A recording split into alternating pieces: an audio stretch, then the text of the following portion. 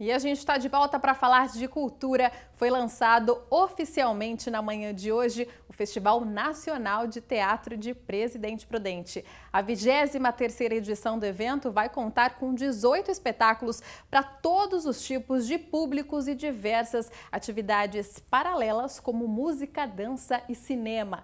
O festival começa apenas no dia 10, mas a partir de hoje o público vai poder conferir uma pré-edição do evento com apresentações apresentações em diversos espaços pela cidade. Tá imperdível e, claro, toda a programação é de graça.